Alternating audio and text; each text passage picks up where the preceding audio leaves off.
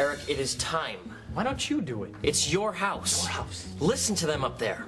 The party has reached critical mass. In 10 minutes, there will be no more beer opportunities. If my dad catches me copping beers, he'll kill me. I'm willing to take that risk. Don't worry about it. Just remain calm, keep moving. And above all, don't get sucked into my dad's hair. What's wrong with your dad's hair? Just don't look at it. And Eric, cold. Definitely cold.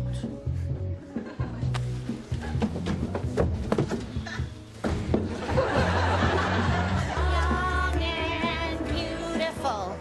Someday your looks will be gone. Oh, oh, watch it, Eric. Hot pizza rolls coming through. Hot, hot. Kitty, where are you? Okay, take two. There's plenty. There's plenty coming. Is everybody good? Oh. I know, Vienna sausages are so versatile. Hi there, Eric. Mr. Pinciotti. So, Eric, how do you like Bob's new hair? Isn't it groovy? It's incredibly groovy, Mrs. Pinciotti. Ah, yeah, it was Midge's idea. It's a perm. Eric, Hi, Dad. What the hell happened to Bob's hair? Beats me. His head looks like a poodle's ass. Boy, just when you think you've seen everything. A poodle's ass walks into your party. Eric, don't use the ass word. You're still in high school. Yes, sir. okay, pigs in a blanket. Hot, hot. Kitty, is that your Toyota in the drive?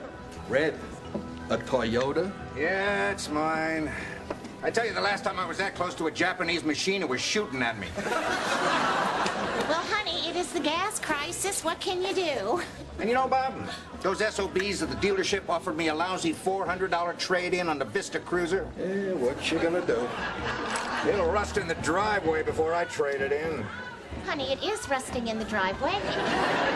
Hey, Bob, I'll take the cruiser off your hands. I don't care if it's a pump sucker.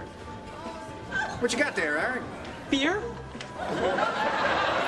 I found it just sitting, you know, around. Well, put them away, son. Why, intend to, sir. Oh, honey, honey, on your way to the basement, could you pop these in the fridge? They're warm.